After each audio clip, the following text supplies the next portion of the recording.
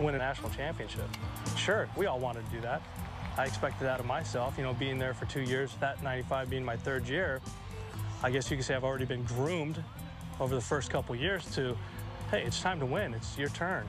And a guy like Augie, who's been there, done that from the 70s to the 80s, you have no other choice but to buy in. You're not going to buy in, it's, you're leaving. So uh, it's not pressure. It's just you know that those are the expectations of where he where he is and where he's been. It's the expectations of just winning, winning that national championship.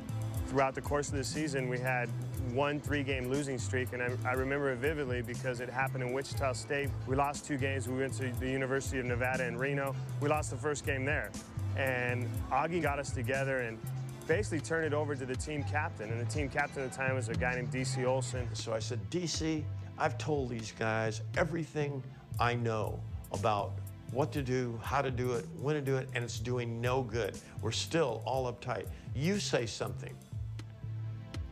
Well, man, we just got to play ball. This is stupid. Well, man, we just got to play ball. This is stupid. So the famous D.C. Olson speech that just went on like that. And they did it. And he said, we're better than these guys. This is stupid. And it was just, you know, that kind of stuff.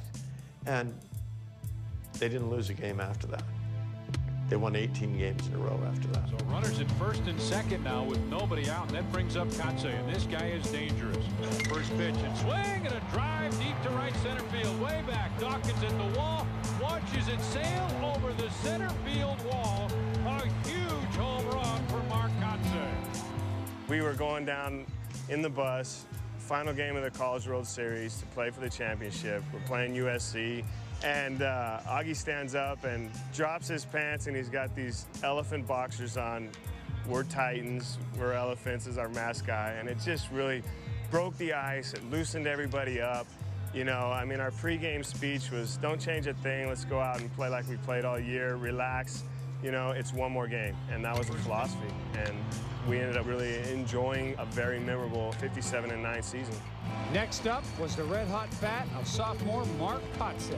There's the kick of the 1-0 pitch, swinging a high, deep drive to right. Kotsay has back-to-back -back home runs, a three-run shot and a two-run shot.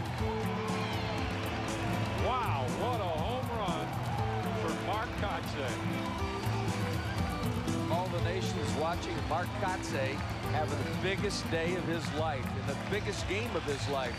But in the bottom of the seventh, the Titans blew the game wide open. This one's well hit. Right field, way back at the warning track, at the wall, and it's gone. Tony Martinez with a huge three-run home run for Cal State Fullerton.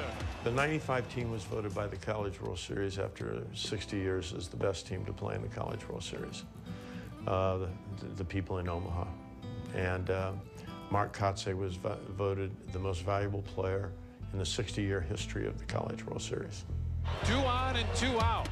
And all of a sudden, things have gotten a little more interesting here at Rosenblatt. It's 11 to 5 in favor of Cal State Fullerton. Left-hander Kotsay to the bell. 0-2 pitch. High fly ball to left. This ought to do it. Miranda under it reaches up and Cal State Fullerton has won NCAA College World Series championship 11 to 5. Now they had the taste of sweet victory. They were the toast of college baseball. They were the national champions. An athletic program